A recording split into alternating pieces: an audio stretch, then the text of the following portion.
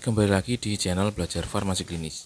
Di video kali ini kita akan belajar tentang perhitungan kebutuhan obat ya.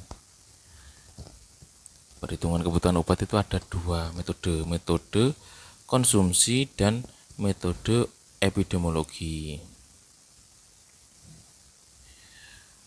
Jadi perhitungan kebutuhan obat ini masuk dalam pengelolaan obat dan bahan medis habis pakai di mana bertujuan untuk menjamin ketersediaan dan keterjangkauan pelayanan obat yang efektif dan efisien untuk menghindari perhitungan kebutuhan obat yang tidak sesuai atau tidak tepat sehingga mudah diperoleh pada tempat dan waktu yang tepat. Oleh karena itu, perhitungan kebutuhan obat ini sangat penting dalam menjamin ketersediaan, pemertaan, dan keterjangkauan obat. Untuk perencanaan yang dimaksud adalah kegiatan seleksi, seleksi obat dalam menentukan jumlah dan jenis obat dalam memenuhi kebutuhan sediaan farmasi, khususnya di puskesmas, dengan pemilihan yang tepat agar tercapainya tepat jumlah, tepat jenis, serta efisien.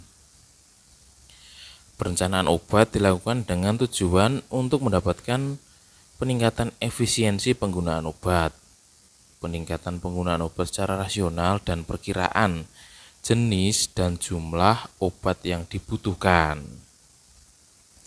Untuk proses perencanaan ini ya, perencanaan kebutuhan biasanya dilakukan per tahun dengan menggunakan RKO atau singkatan dari rencana kebutuhan obat dalam satu tahun di mana data yang dibutuhkan adalah data dari LPLPO atau laporan pemakaian dan lembar permintaan obat.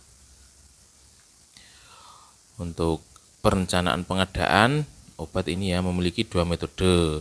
Metode yang pertama metode konsumsi, metode yang kedua metode epidemiologi. Metode konsumsi merupakan metode perencanaan berdasarkan atas analisis konsumsi logistik. Jadi rata-rata penggunaannya itu berapa per bulan. Itu metode konsumsi dikalikan kebutuhannya untuk berapa bulan. Kemudian metode epidemiologi merupakan metode perencanaan berdasarkan atas analisis jumlah kasus penyakit pada periode sebelumnya. Jadi contohnya seperti eh, ada wabah ya. Itu menggunakan metode epidemiologi. Kalau menggunakan jumlah penggunaan obat sebelumnya atau bulan-bulan sebelumnya atau rata dalam satu bulan itu masuk dalam metode konsumsi. Kemudian yang kita kerjakan pada kali ini eh, itu menghitung kebutuhan obat menggunakan metode konsumsi. Caranya bagaimana? Seperti yang sudah kita jelaskan tadi ya, rata-rata pemakaian per bulan kita isi. Kemudian ini mau dibuat sampai berapa bulan? Ini mau dibuat sampai Maret 2025. Jadi 5 bulan lagi. Tinggal kita kalikan rata-rata pemakaian per bulan dikali 5 langsung dirumus saja menggunakan Excel. Keluarlah hasil seperti ini ya 35.665 kemudian kita kurangkan dengan sisa stok. Sisa stok ini sisa stok di bulan ini ya. Agar datanya sesuai. Kemudian setelah dikurangkan kebutuhan dengan sisa stok muncullah jumlah kebutuhan realnya. Kemudian kita bisa tambahkan kolom usulan pengadaannya berapa, seperti itu ya. Cara menghitung metode konsumsi ya. Kalau menggunakan Excel sangat mudah, langsung bisa dirumus saja, tinggal ditarik ke bawah keluar hasilnya. Ini sangat membantu kita dalam proses perhitungan. Selanjutnya, setelah kita dapat nilai jumlah kebutuhannya serta usulan. Ya setelah tahu jumlahnya berapa kemudian kita masukkan di dalam usulan pengadaannya kita buat DPP atau dokumen persiapan pengadaan.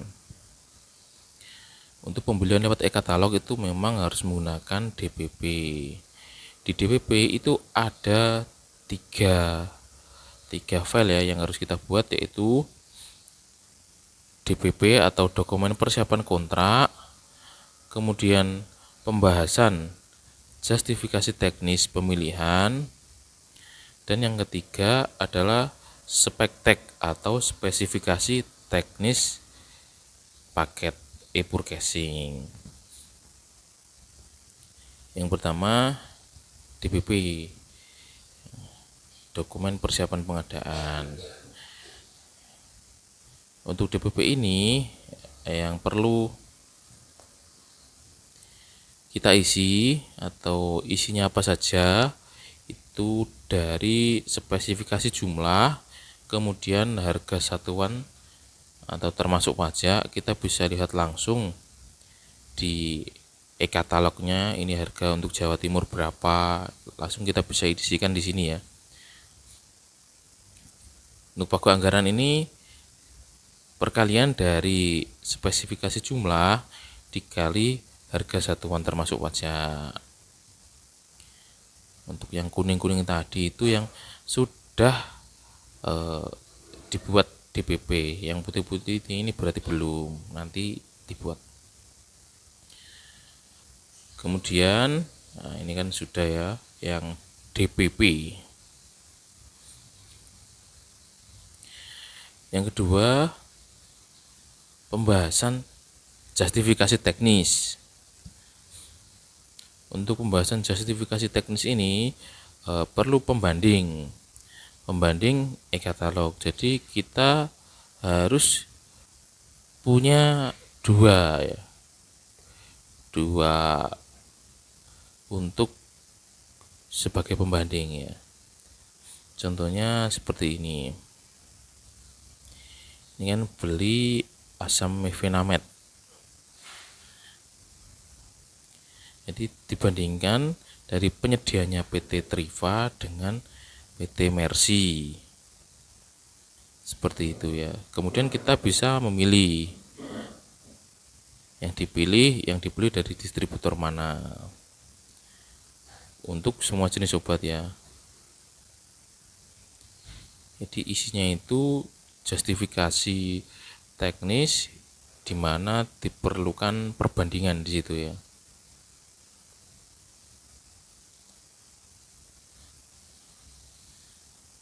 lanjut untuk yang ketiga adalah spesifikasi teknis paket e-purchasing atau biasa disingkat spektek ya. spesifikasi teknis ini ya, data yang diisi adalah elemen spesifikasi yang terdiri dari mutu atau kualitas serta urean spesifikasi atau spesifikasi komposisi. Spesifikasi komposisi ditulis saja e, nama obatnya ya. Kemudian jumlah dan kuantitas kemudian tempat pengiriman waktu kontraknya berapa hari kemudian tingkat layanan serta link e-katalog. Ya, link e-katalog dicantumkan di spesifikasi spesifikasi teknis. Ini kalau diklik itu atau di copy paste bisa ya langsung menuju ke e-katalognya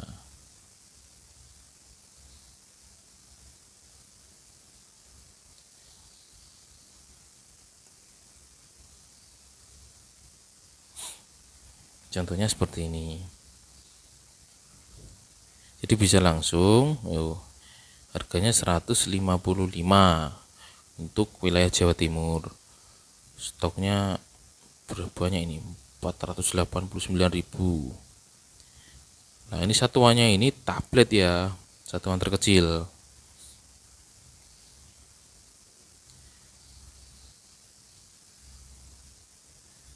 untuk lain-lainnya juga begitu ya. Tinggal diklik saja. Kemudian untuk susunannya susunannya ya. Susunan ini urutannya itu 132 jadi DPP spesifik teknis dan pembahasan justifikasi. Ya caranya kita buat PDF dulu. Nanti digabung ya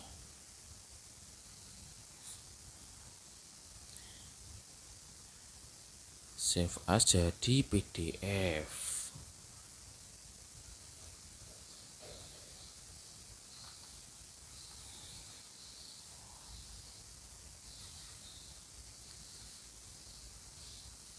sudah jadi PDF kemudian yang kedua juga begitu ya.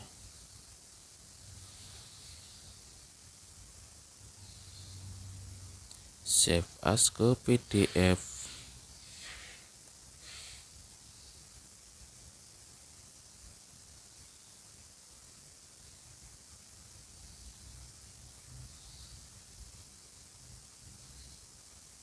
kurang satu lagi yang ketiga. File save as. Ini ganti PDF sudah sudah jadi PDF semua. Kemudian kita gabungkan. Gabungkan. Gabung PDF online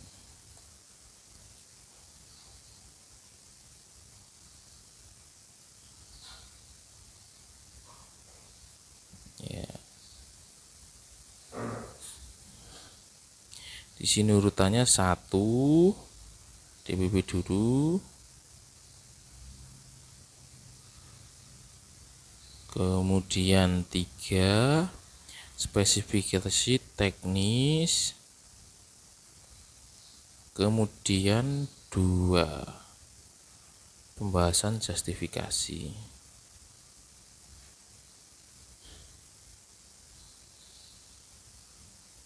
kemudian kita klik gabungkan PDF